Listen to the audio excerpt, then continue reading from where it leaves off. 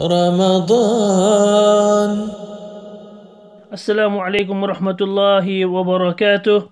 Dear brothers, sisters, and young ones, the Prophet Muhammad sallallahu alaihi wasallam mentions that there is nothing to return back to Allah subhanahu wa ta'ala than that which has come from Allah subhanahu wa ta'ala Himself.